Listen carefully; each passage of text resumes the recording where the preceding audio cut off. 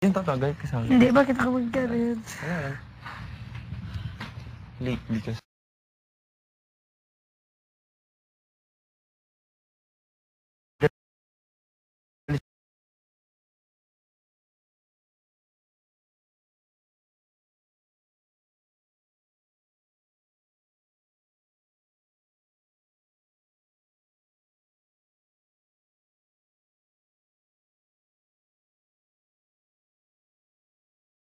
Pakialam.